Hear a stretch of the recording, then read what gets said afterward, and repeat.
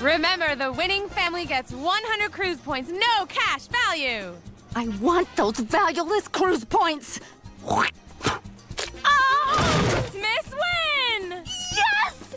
I'm gonna go sign us up for face painting class. Steve, you're gonna be a rabbit. Hayley, you're gonna be a squirrel. And I'm gonna be a panda.